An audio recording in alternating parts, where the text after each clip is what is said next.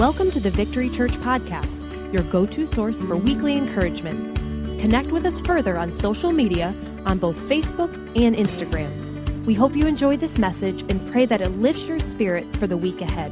If you'd like to contribute financially to the ministry of Victory Church, visit us at ourvictory.org/give.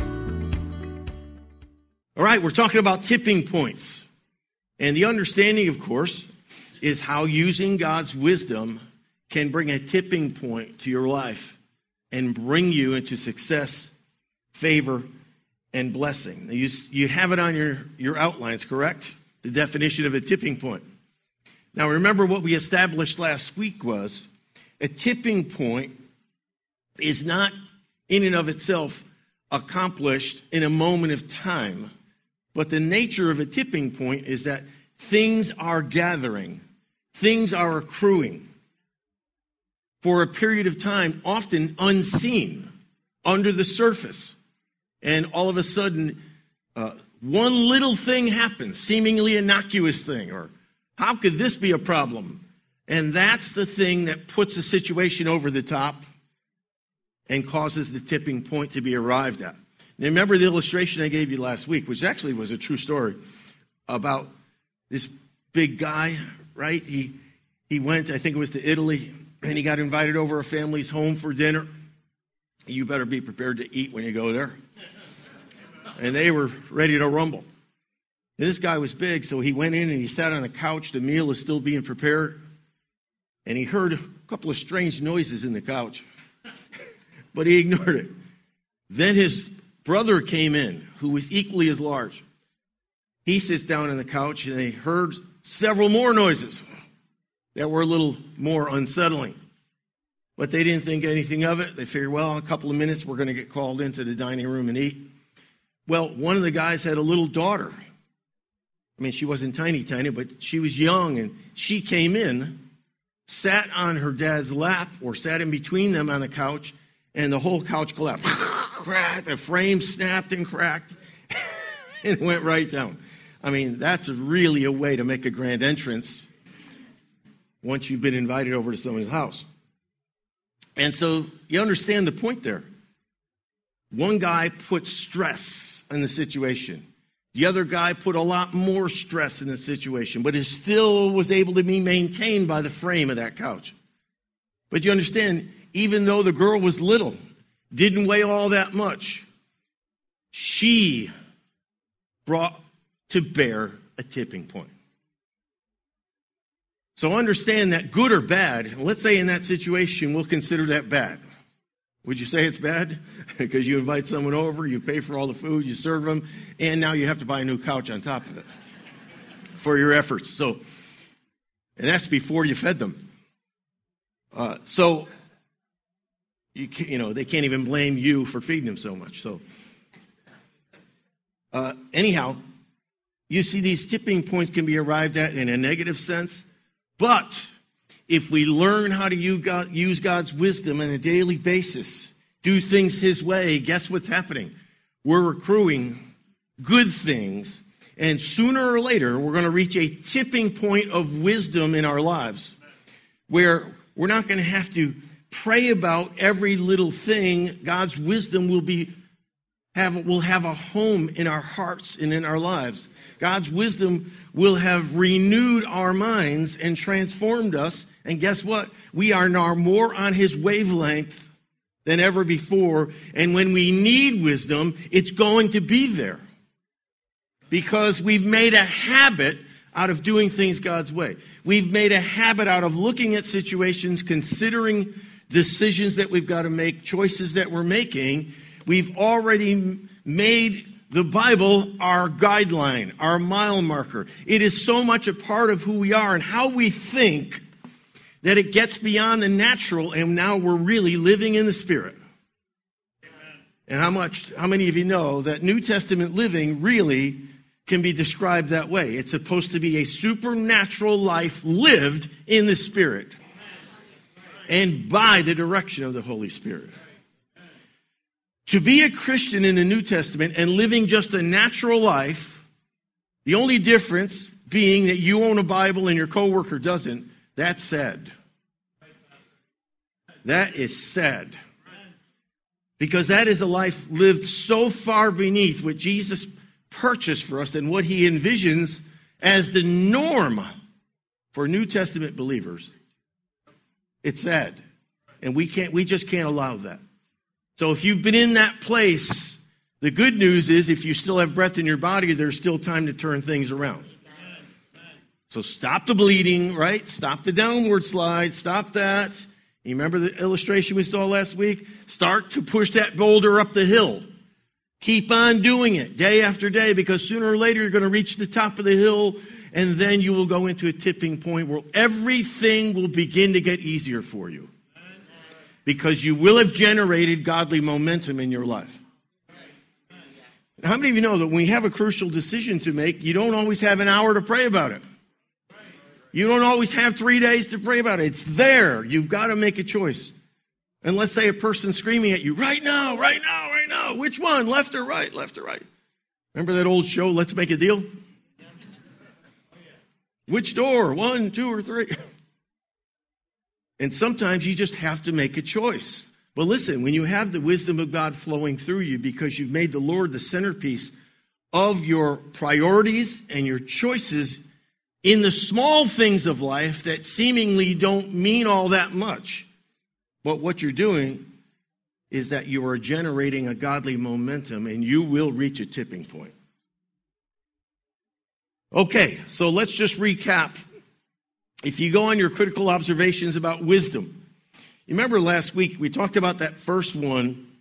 It's kind of a metaphorical thing, it's a personification and we'll explain that in just one second and recap.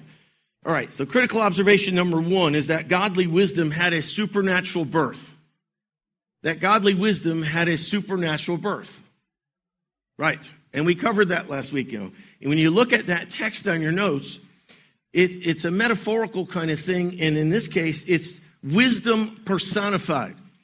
And I just want to re explain the first line of this text from Proverbs 8. So it'll be Proverbs 8:22. It says, "The Lord, this is wisdom speaking now. The Lord brought me forth as the first of his works, before his deeds of old. I was appointed from eternity, from the beginning, before the world began." Now, I got to make this very clear. Because this is a metaphorical thing, it portrays God in this particular translation of bringing forth wisdom but how many of you know that God was never at a point where he didn't have wisdom? he is the epitome of wisdom. He is the fountainhead of wisdom. There was never a point where he had to give birth to wisdom. No.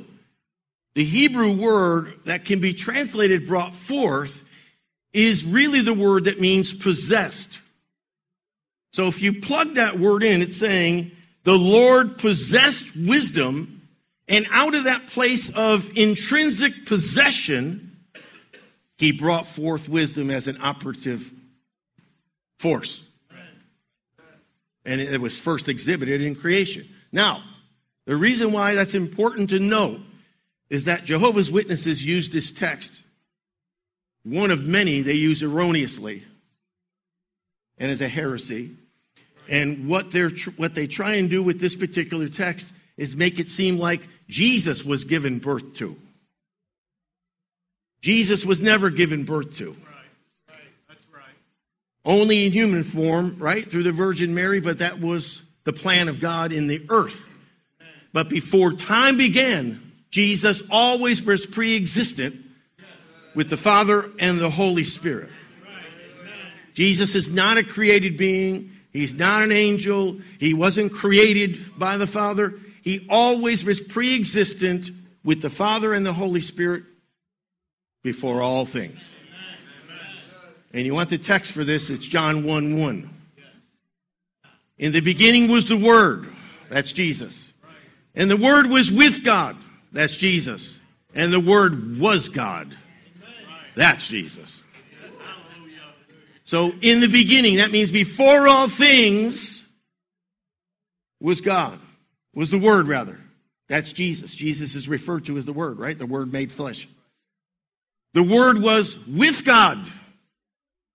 That means, as Paul said in Colossians, that nothing that we've ever seen created was created apart from Christ. And then, of course, the last part of that, John 1 1, and the Word was God. So that pretty much clears up Jesus being a some kind of created being. Okay? So don't trip over the wording here, because Jehovah's Witnesses are they, they have their own translation and it's full of errors. Okay, so let's go to number two. So, number one, godly wisdom had a supernatural birth. Number two, true wisdom has always had a true and supreme source. And we talked about that. Of course, that's Jesus. Jesus is the source. The Holy Spirit brings it to bear in our lives, right? The Holy Spirit reveals Jesus. He opens the Word of God. He gives us the spirit of wisdom and revelation, all those things. But Jesus is the, really the source. And there's the text there in your notes. Let's go to number three. The third observation on wisdom that's critical is this obeying and applying God's wisdom always brings with it God's rewards. The Lord will always reward people who do things His way, but He will not reward people who don't do things His way. So we got a choice to make. Even as Christians, too many Christians own a Bible but do things according to their own knowledge, their own understanding, their own agenda, their own will. And if somehow the Lord fits into their agenda, fine. And if He doesn't, oh well. Boy, I don't know where that thinking comes from, but that's not going to lead you anywhere good in the areas in which it would really count. Oh, boy, that's a scary thing. You understand that when, you, when God was dealing with the children of Israel, remember they were wandering through the wilderness? And there were a couple of million knuckleheads. Uh, the Lord would bless them, and then, of course, as soon as they felt like they needed something else, immediately they'd go into rebellion mode, murmuring, griping, grumbling, complaining. They're stiff necked. They didn't want to do things God's way. They were just ignorant. They were uh, stubborn. And the Lord got so sick of it, He said, You know what? That's it. That's it.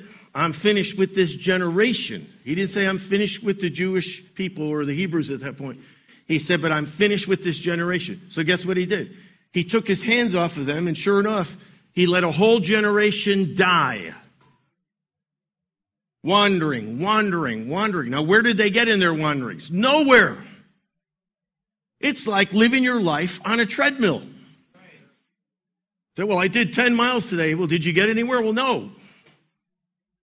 How was the scenery? Uh, pretty much the same. Well, that's what they did with their lives.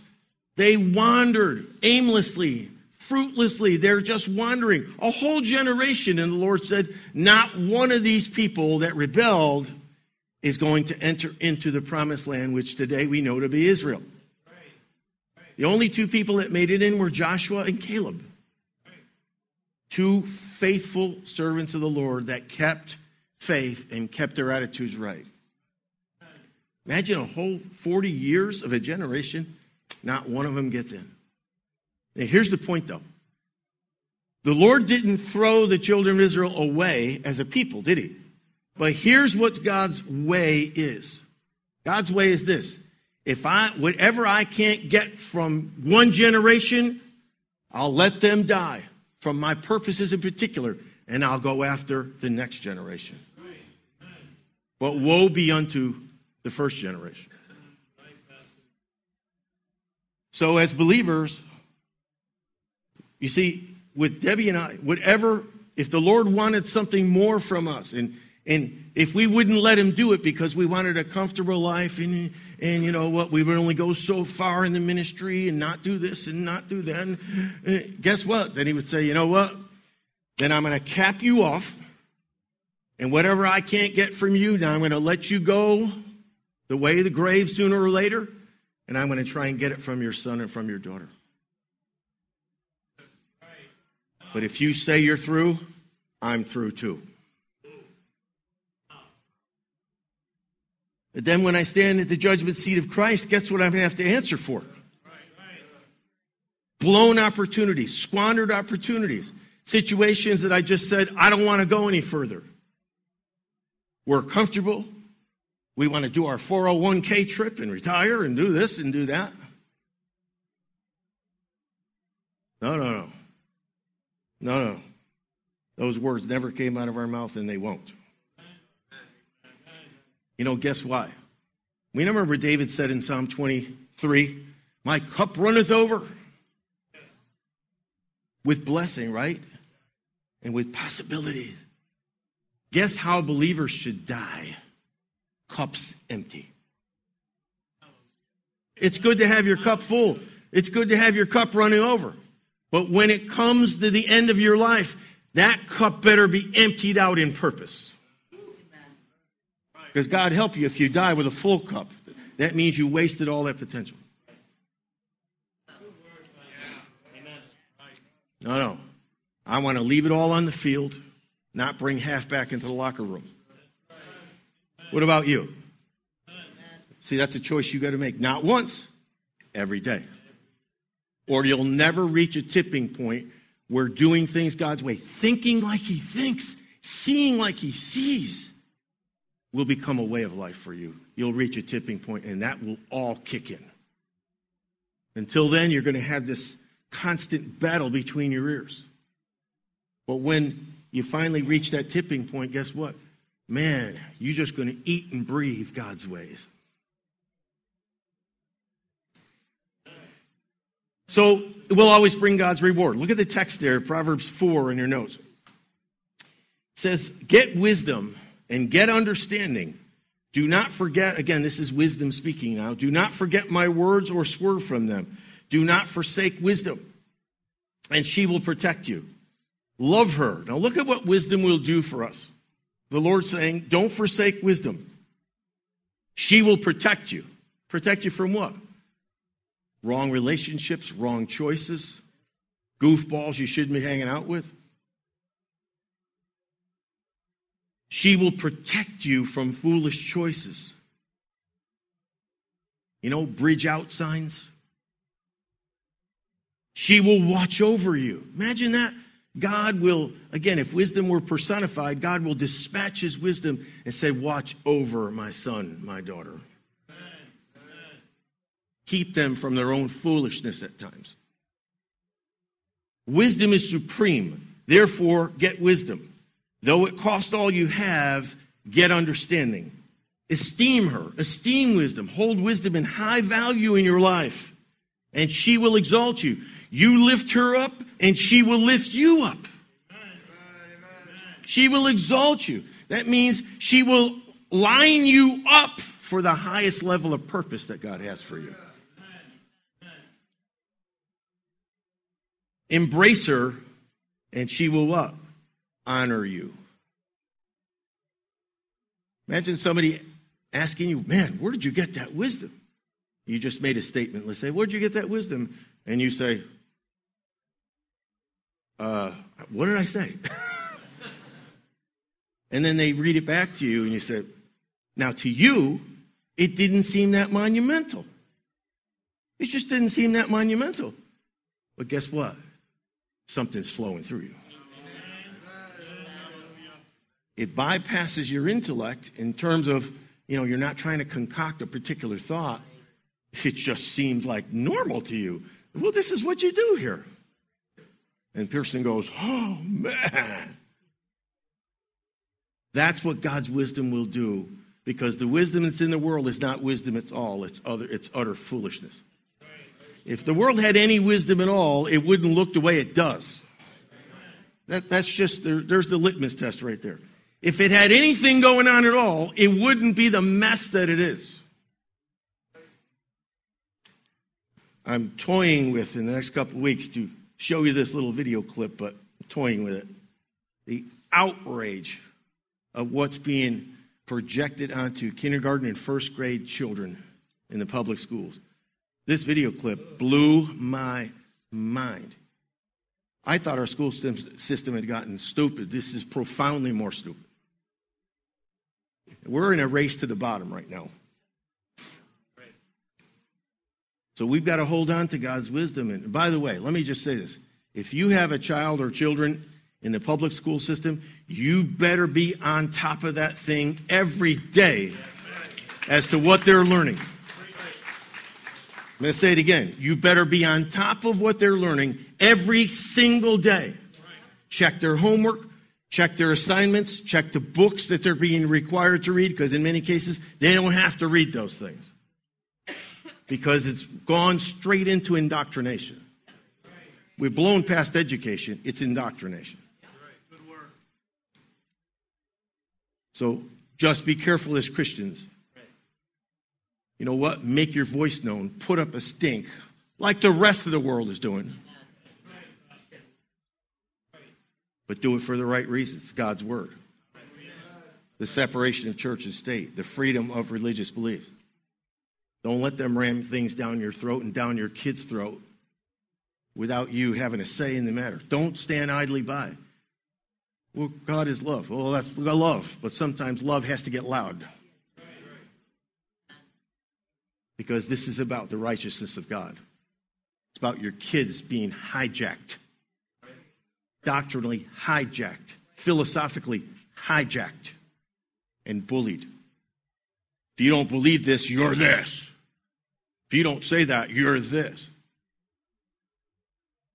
I just heard very recently that one particular school system, the teachers are asking the children to all wear rainbow colored stuff. That's sickening. That's disgusting. That's warped and it's perverted. No parent, no Christian parent should comply with that idiocy. You want to make a stink? Let's get it on. My, ch- my child will not wear that and if he or she encounters one bit of discrimination or hassle or, you know, this kind of thing, you're going to hear from my attorney.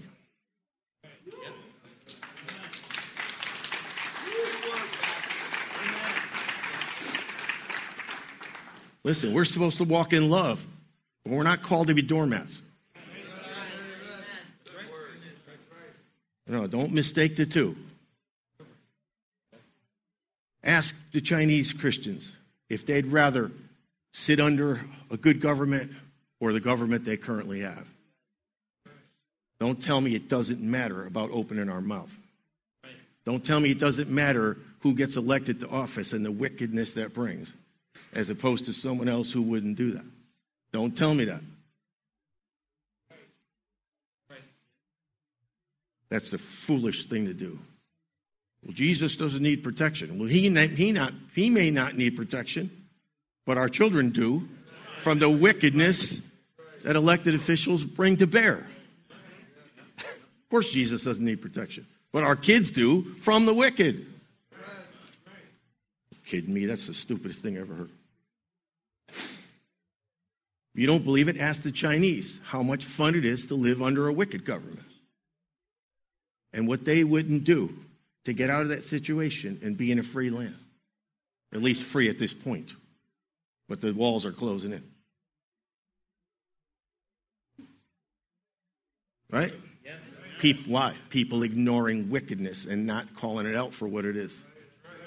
Paul said in Ephesians 3 have no fellowship, Ephesians 5, with the unfruitful works of darkness, but expose them. Expose them. But rather expose them. Not only not comply with them, but call it out for what it is. Don't go with the insanity of our age. It's insane. It's a demon spirit of deception that's engulfing our entire culture. You want to know how the end times are going to bring forth a one world order? You're looking at it. Monumental mass population deception. We're looking at the book of Revelation playing out, setting up. See, it's being set up. Want to know how the Battle of Armageddon is going to even come to pass? You're looking at it. You're making and living history.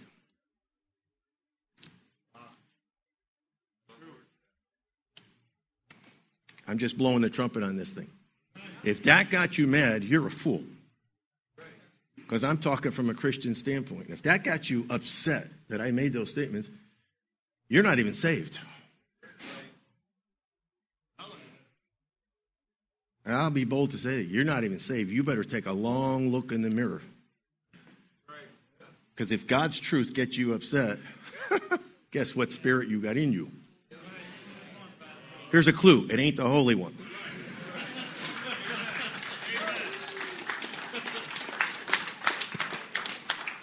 That's why the spirit in you is agitated.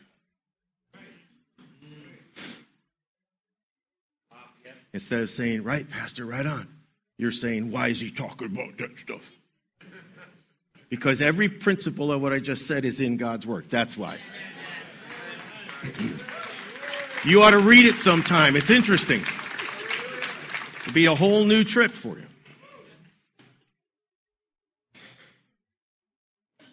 Let's go to number four. We're getting hot now.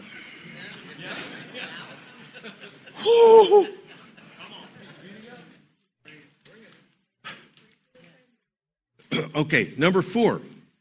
The fourth observation, critical observation on wisdom is this. If you truly desire wisdom, you will acquire wisdom. But there's got to be a profound desire because wisdom may be stored up for the upright, but it's not given away cheaply. Jim, make sure that's on 71. It may be free to the upright, but it's not cheap. God's not going to say, well, you know, uh, yeah, you own a Bible. Here you go. I'm going to dump a truckload of wisdom on you. No. No. I'd like you to turn in your Bibles to Proverbs chapter 2.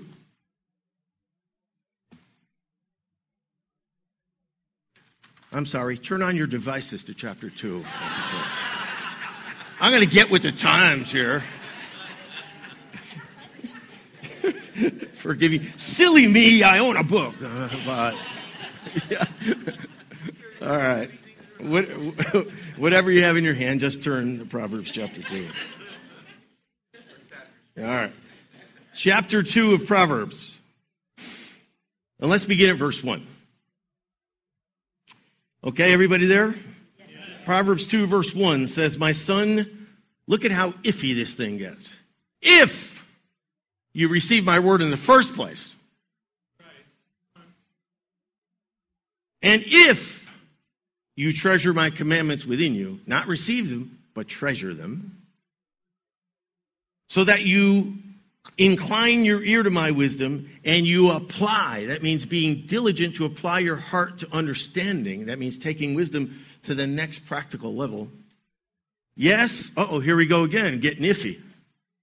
If you cry out for discernment, and if you lift up your voice for understanding, if you seek her as you would someone telling you there's a deposit of silver in your backyard, but you got to dig it at three o'clock in the morning.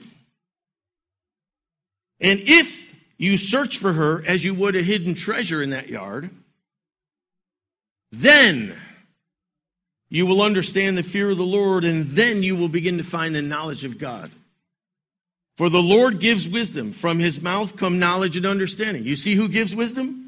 The Lord. If he doesn't give it, you ain't getting it. It belongs to him. He never relinquishes control of the revelation behind the wisdom.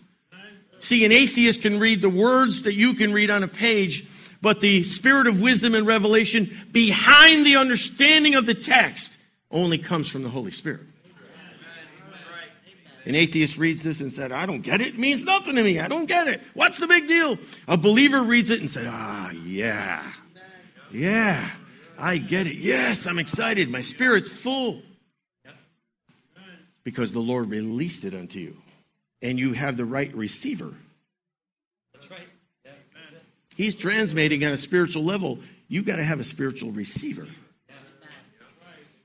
Now, says the Lord gives wisdom. From his mouth come knowledge and understanding.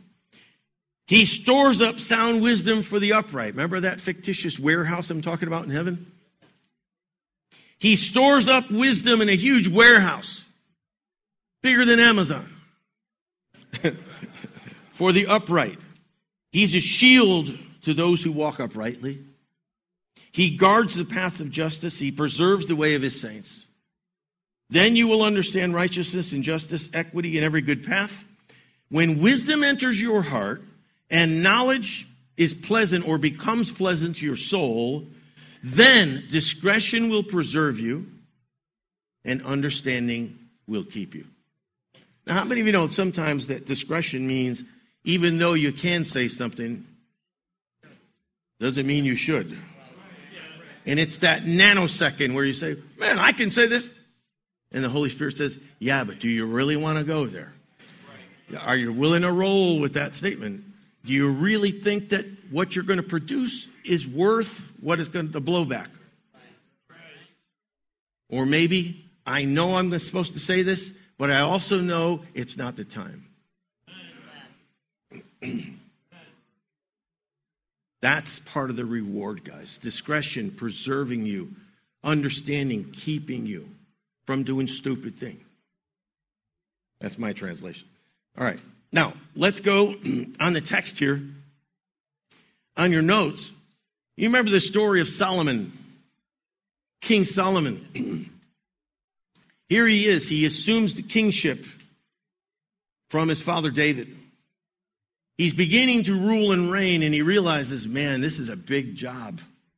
Man, I got to deal with people and problems and the direction of the nation. And, oh. So I'm just assuming that at some point he was praying in his own time. That's an assumption, but I think it's, it's you know, it's well worth within the, well within the parameters of, of uh, good context. Anyhow, the Lord appears to him in a dream, speaks to him in a dream, and said, Solomon, ask me for anything that you want. He's thinking, is he his or her Bentleys? No, no, no. no. Instead, Solomon says, Therefore, Lord, give to your servant. That means, please, Lord, give me an understanding heart to judge your people that I may discern between good and evil. In other words, give me the wisdom that guides my decisions and lets me see in my judgments the differences between good and evil. He, he asked the Lord, he said, Lord, for who is able to judge this great people of yours? In other words, it's way above my pay grade right now. The Lord was pleased that Solomon asked for this. So God said to him, Solomon, since you asked for my wisdom, and not for long life or wealth for yourself, nor have you asked for the death of your enemies, but because you've asked for wisdom in administering justice, in other words, good leadership, I will do what you've asked. I will give you a wise and discerning heart, so that there will never have been anyone like you, nor will there ever be. Moreover, I will give you what you've not asked for. Boy, that's the double blessing, isn't it? I will give you riches and honor, so that in your lifetime you will have no equal among all the kings of the earth. Now, here's a little part that gets iffy. And if you walk and continue to walk in my ways and obey my statutes and commands, as David your father did, I will give you a long life as well. Boy, that's powerful. Now, did Solomon acquire wisdom? Absolutely. He was the wisest man that ever lived. He was the most prosperous man, the most powerful man. I mean, this guy was something else. But why? Because he asked the Lord for wisdom. Wisdom for what? To accomplish purpose, which in this case was leading God's people, leading the nation in a way pleasing to the Lord because it came in attachment to executing purpose. The Lord said, I love someone who loves purpose. I love someone who loves me. I love someone who asks for the wisdom to accomplish purpose at the highest level. So I'm going to give it all to you. And then I'm going to give you all these things you never asked for. Now, the only place where it disconnected was uh, toward the end of Solomon's life. There's a reason why the Lord put that last sentence in there that got a little iffy for him. See, Solomon started out like a ball of fire. But later on, listen to this, when he got wise and powerful and prosperous, and this dude was rocking, guess what? He took his eye off the prize. He began to coast, he began to spiritually drift. And his particular downfall was women. In this sense, that he married women from other nations. The Lord said, if you marry a woman from another culture, she's going to take your heart away from me. Sure enough. And when women took his heart away from the Lord, he lost all that wisdom. He got all messed up. He got so messed up that he actually um, allowed shrines to pagan gods to be built right in Israel. How crazy was that? Yeah, right. This is the same Solomon who, whose temple was so filled with the glory of God that the priest couldn't even stand up to dedicate it, minister. And here's a guy that lost the edge. So I'm telling you this that when he asked the Lord for what he asked the Lord for, he reached a tipping point of having pleased the Lord. And the Lord blessed him with a truckload. But you see, along the way, he didn't continue to fuel the right fire. It's not a one and done situation, guys. Success can be accomplished, but only character can keep you there. Only character can keep you where your gift can take you. That's why some very smart people do some very dumb things once they get successful.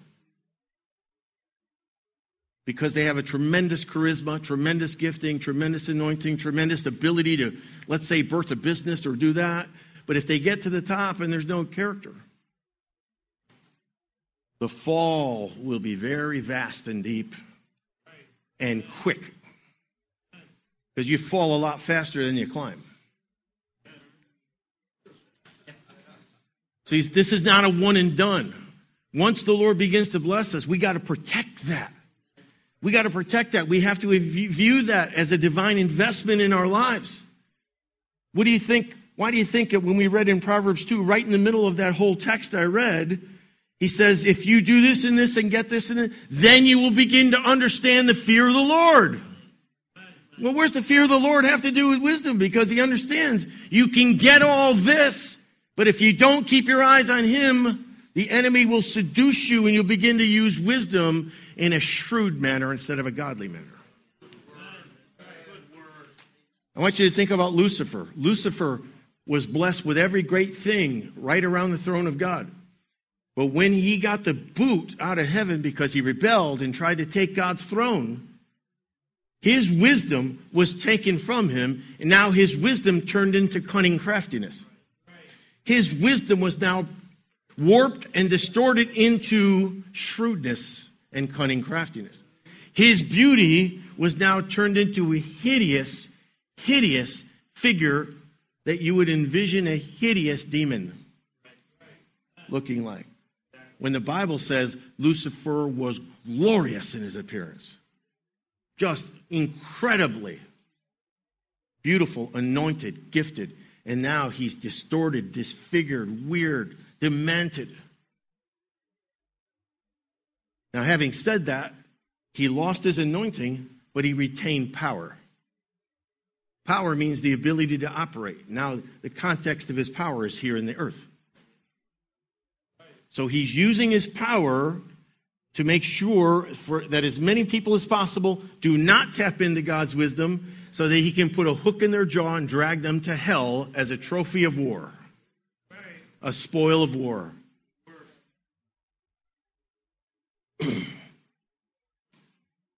so it's no joke with him. Jesus said he comes to steal, kill, and destroy. He doesn't play games. He doesn't come to party. He doesn't come to have a discussion. If he has a discussion, it's to deceive. John 8 44. Jesus said, when the enemy speaks, when Satan speaks, he speaks from his own nature. He's a liar from the beginning. He's a liar now. There's no truth in him. So when he speaks, it's always going to be a lie sprinkled with some circumstantial truth, which is what familiar spirits do. That's how so many people get deceived at tarot card readers and this kind of thing. The enemy knows that to use a false spirit like that, he's got to bring enough factual things to bear so that the, the person that's paid money to go to a tarot card reader gets convinced that, man, no one would have known that about my family tree. No one would have known that. Well, of course they wouldn't. But a familiar spirit has been attached to your family tree long before you ever a thought in your parent's eye. So that's why he's able to bring certain tidbits of information. Because if he couldn't bring anything to bear, who would ever go to a tarot card reader? So you see the second text, Proverbs 8:17 said, "Wisdom, I wisdom love those who love me, and those who seek me diligently will find me." So there's the promise. There's the deal right there. All right, so did I give you a little shaded box right after that? Yeah, God wants to flood you with his wisdom. He wants to flood us with his wisdom. The question is, do we want it today? I mean, it's there. He stores up sound wisdom for the upright, but it's not automatically guaranteed that you'll get it just because you're a believer. You got to take your game to the next level. All right, let's do one thing here and then we'll quit. So, when we talk about apprehending God's wisdom, there are three distinct types of wisdom or expressions of wisdom that I think we need to pay attention to. We'll just do one and we'll quit. First, directional wisdom. Directional wisdom. Lord, what should I do? Should I take this job? Should I take this apartment? Should it, am I supposed to be with this person? Blah, blah, blah. Now, if you notice this text from James, James 1, the context of this verse, the, the really the original context was when we're in trials. You know, we count it all joy when we fall into various trials and temptations, and uh, right. But the con- so the context is, and when you don't know how to handle decisions and situations within this season of trials, guess what you should do? If any of you lacks wisdom, he should ask God, who gives generously to all without finding fault, and it will be given unto him, or her, obviously. but here's the deal when he asks, he must believe and not doubt, because he who doubts is like a wave of the sea blown and tossed by the wind. So the first thing, the first expression of wisdom is this directional wisdom. What should we do here? Should we go here, left or right kind of thing? And in all the years that I've been serving the Lord, I brought forth six or seven bullet points that are just general characteristics of what I have found God primarily uses. He can use anything he wants, any way he wants. I'm telling you that from the front, on the front end of this. But I'm just giving you my observations after all these years of serving the Lord that when it comes to directional wisdom, this is typically how it flows. It more flows than gets dumped on someone. So here, let's read together. That when God wants to give you directional wisdom, it's typically not accompanied by some kind of trumpet blast. Da, da, da, da, go left you know, buy that roast and not that one. You know, it's not like that. You mean stop and shop and hear a trumpet?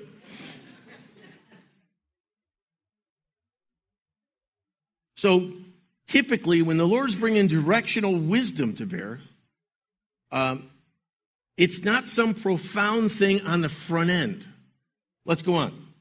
With growth, remember how I talked about internalizing God's wisdom, making it a flowing part of who we are on a daily basis, when that flow is established in us as a matter of, of practice, with growth, you develop an inner sensing. So when we talk about directional wisdom, if we're not going to hear a trumpet blast, then what do we go by?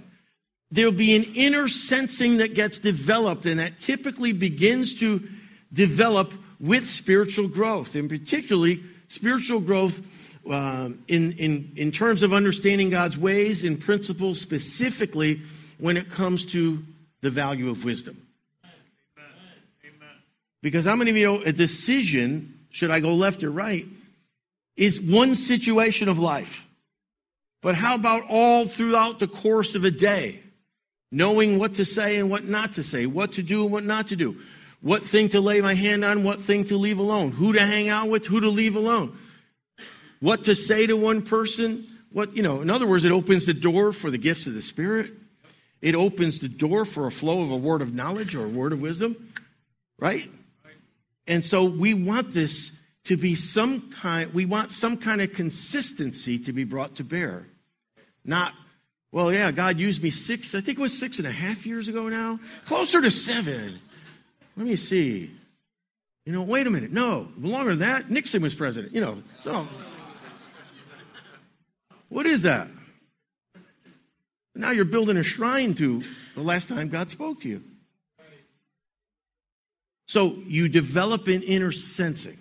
Next, there comes a spiritual stirring. There'll come a stirring in your spirit. Sometimes the Lord won't, he'll, he'll kind of hold back a hunger for something, and all of a sudden he begins to release a fire in an area, release um, a stirring directionally to go right instead of left. And the whole time, man, I was, I was convinced we were going to go left. There develops, with that stirring, they'll start to settle like a leaf comes down off a tree, an inner sense of knowing what to do. You may be going about, you may be making a cup of coffee during the day, and this thought just comes down like a leaf and settles in your spirit and in your mind. And all of a sudden, what you didn't know five minutes ago, you know now what, what you were on the fence and a little troubled about yesterday comes down like that leaf and just sit. Whoa, now I'm at peace with this. Next, this direction generally comes to us over a period of time. Remember the whole idea of the tipping point?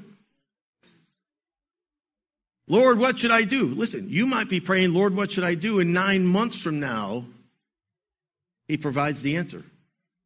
So don't expect to pray today and answer tomorrow. Don't assume that. You know what happens when you assume? Well, you'll be the recipient of that assumption and the result of that assumptive approach.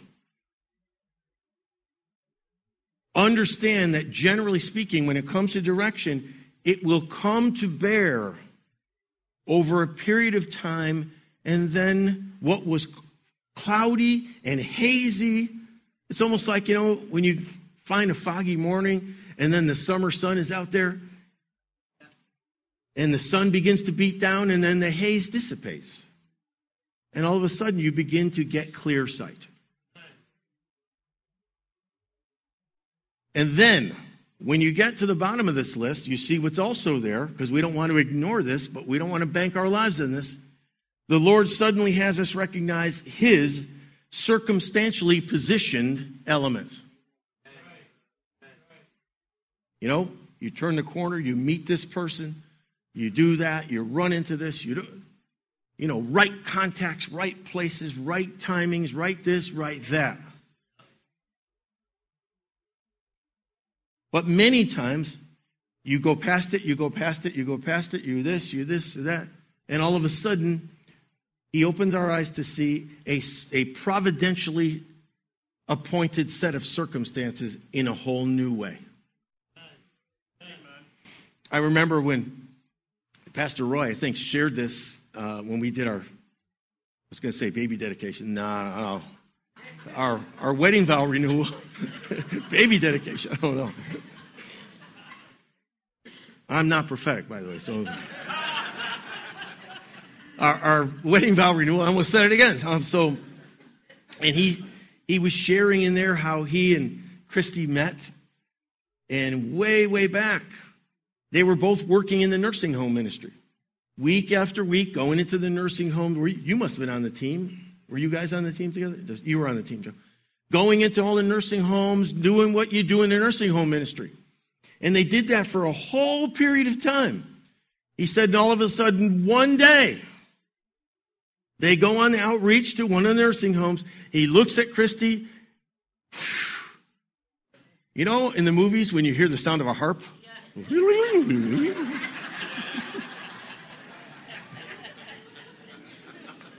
I don't know what he heard, but I know he said all of a sudden, I saw her in a whole new way and I said, I like her.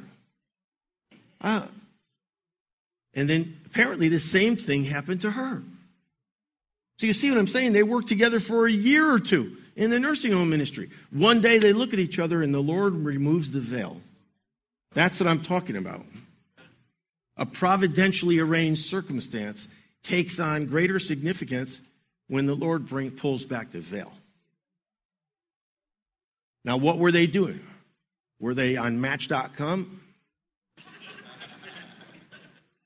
Listen, I'm not knocking anyone. All I'm saying is what they were doing was being busy about the Father's business. And the Lord just did his thing.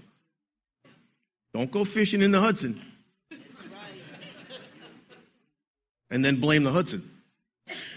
It's only going to produce the nastiness that's in it. And this world is the Hudson. This world is the Hudson. Don't go fishing in there and then blame the Hudson. Don't blame the fish because he's nasty. You fishing from the wrong dock.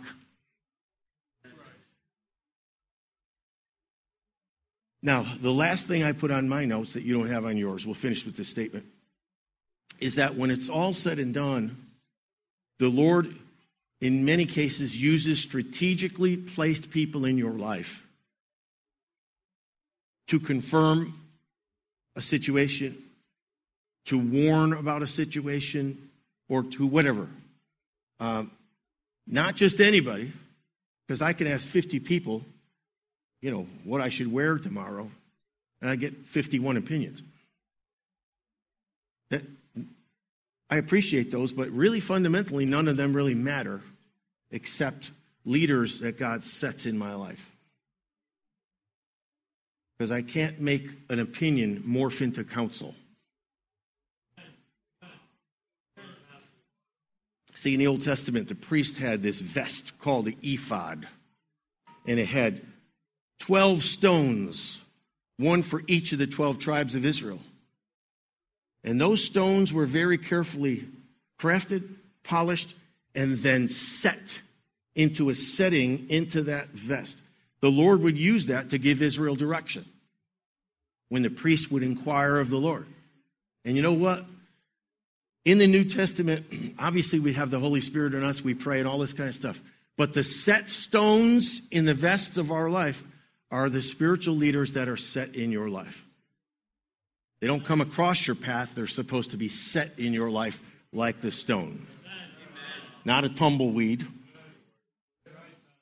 a set stone.